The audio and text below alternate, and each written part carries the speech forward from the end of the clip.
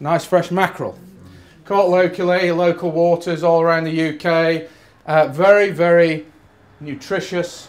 You can use the same technique to fillet the mackerel, but because the mackerel's got a much softer bone structure, you can actually be a little bit uh, cleverer and just do that. And it takes it straight off like that. And those.